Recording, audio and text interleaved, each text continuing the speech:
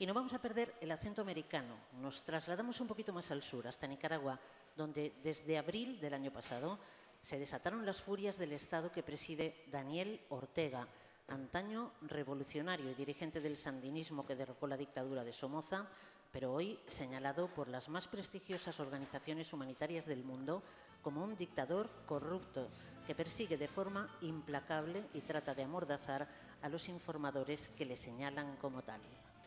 Las protestas de hace un año, fíjense, comenzaron por la reforma de las pensiones que impuso el gobierno con las que los pensionistas se sintieron condenados a la pobreza absoluta.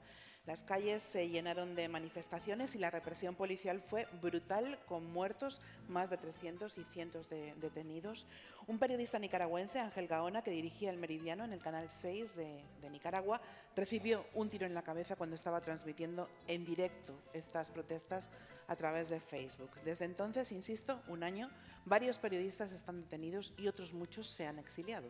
Carlos Fernando Chamorro es un periodista nicaragüense exiliado en Costa Rica que acaba de ser galardonado en Madrid con el premio Optimista Comprometido de la revista Noche Tuve un Sueño. Lo recogió en su nombre Reporteros Sin Fronteras a través de otro colega exiliado, Edgardo Pinell. Y en este acto por la libertad de prensa en el mundo nos acompaña Edi López, periodista nicaragüense, redactor del periódico La Prensa, que era el corresponsal de ese medio en la ciudad de León hace un año. Bienvenido, Edi.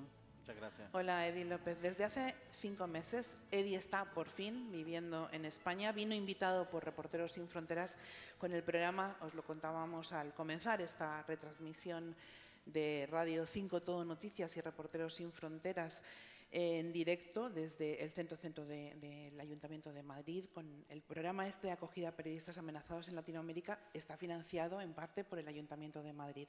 Ese programa de acogida es de tres meses, pero Edi, sin embargo, ya lleva un poco más de tiempo, lleva cinco meses y ha tenido que quedarse porque es que si no, no puedes volver a casa, ¿no, Edi?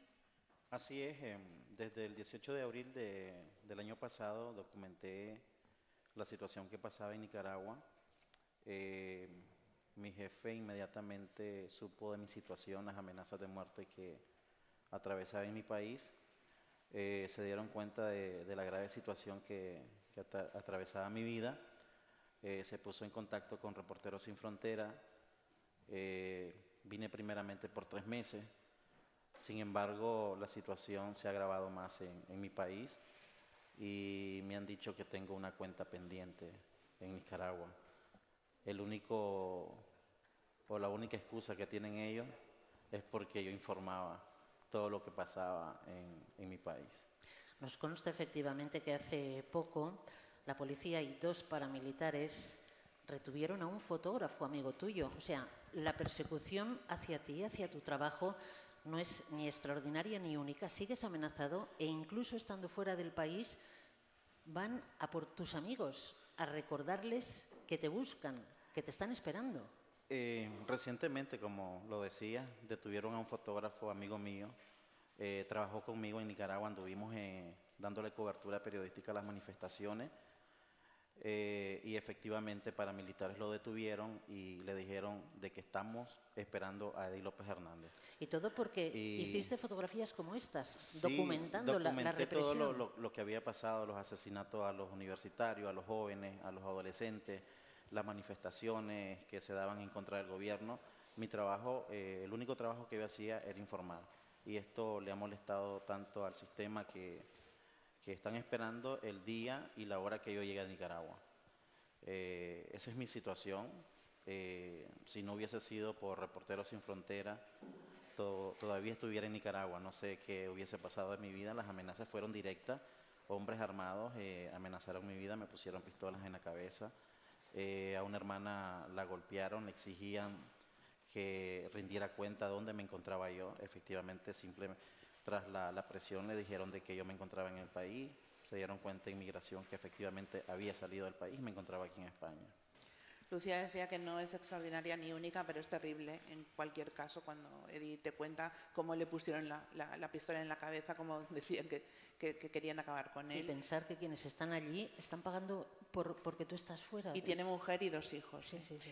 Eh, el periódico de Edi, La Prensa, que tiene su redacción principal en Managua, ya no puede salir en papel. El, el gobierno de Ortega retiene el papel en la frontera y ha dificultado de tal manera las cosas que es imposible que el periódico mm, pueda editarse e imprimirse. Sin embargo, sus periodistas están decididos a mantener su derecho a informar y continúan, de hecho, haciéndolo. Continúan informando en su página digital y todos los medios a su alcance, en este momento todas las redes, ¿no? Eh, Facebook, Twitter, WhatsApp. ¿Tú qué crees, Eddie, que va a pasar con tu periódico? ¿Y qué, qué va a pasar en realidad con los medios en Nicaragua? Recientemente te puedo decir de que hace un par de días hablaba con el director, mi jefe de, de, del periódico, del diario La Prensa, y son 35 semanas que se cumple eh, en esta semana donde aduana tiene retenido todavía la materia prima, el papel de periódico y algunos respuestos de, de, de maquinaria de imprenta. Eh, tiene retenido ese material eh, cumpliendo con todos los requisitos que, que, que, se, que, se, exigen en Nicaragua y aún así no, no, no han liberado el, el, papel.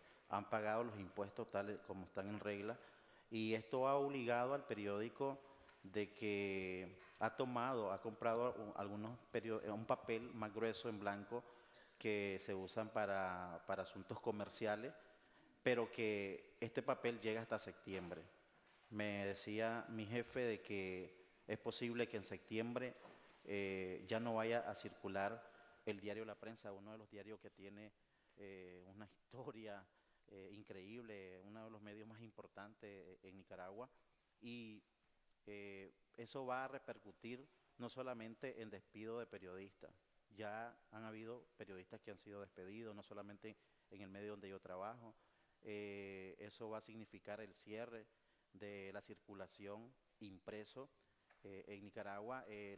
Ya no va a haber, va a haber despido en, en, los asuntos de mercadeo y, publicidad. Eh, hay otro periódico que también está cerca de, que forma parte del, del, editorial de la prensa, que se llama el periódico Hoy, que también eh, no va a circular ya en, o sea, eh, definitivamente hasta septiembre el periódico va a subsistir en físico y esto se le va a venir a perjudicar porque ha tomado la opción para sobrevivir a través de la suscripción en formato digital. Eh, un sistema que no está acostumbrado, o sea, estamos iniciando en el formato digital y esto, como muchos saben, en, otras partes del mundo, eh, cuesta para que mantenga una estabilidad económica. Estamos iniciando y eso va a repercutir mucho en, en los despidos de, de colegas. Edith López, eh, solo me decía, yo tengo que seguir informando, es todo lo que he hecho los últimos 15 años de mi vida, quiero seguir haciéndolo, ojalá puedas, ojalá te dejen. Gracias por tu testimonio, por este relato, te deseamos una feliz estancia, por cierto, aquí también en, en nuestro